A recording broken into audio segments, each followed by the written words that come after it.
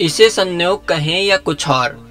पर हर सौ साल पर पूरी दुनिया में एक बड़ी महामारी का हमला होता है। जैसे अभी कोरोना वायरस फैला हुआ है। महामारी फैलती चली जाती है, लोगों की मौत होती रहती है।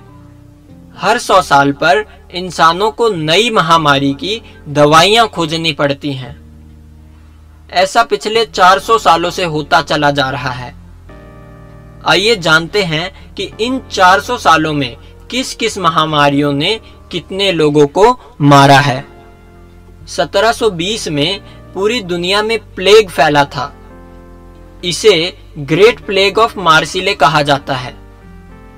मार्सिले फ्रांस का एक शहर है। फ़ोटो में दिख रहा है। इसमें उन्होंने दिखाने की कोशिश की है कि कैसे प्लेग ने कितने लोगों को मारा था। मार्सिले में फैले प्लेग की वजह से एक लाख लोग मारे गए थे।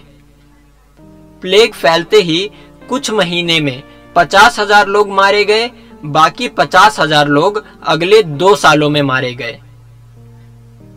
ठीक इसके सौ सालों बाद 1820 में एशियाई देशों में कोलेरा ने महामारी का रूप लिया।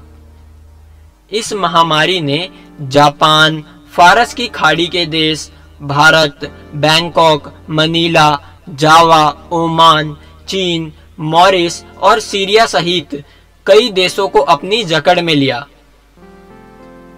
कोलेरा की वजह से सिर्फ़ जावा में एक लाख लोगों की मौत हुई थी।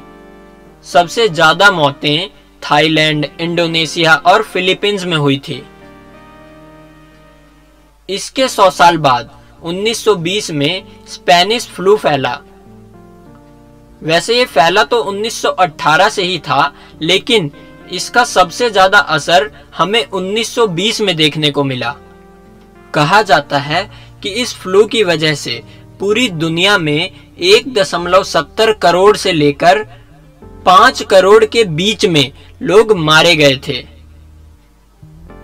तो अब आप सोच सकते हैं कि इस स्पेनिश फ्लू की वजह से कितनी बड़ी तादाद में लोगों की जाने गई थी। और अब 2020 में चीन से शुरुआत हुई कोरोना वायरस की।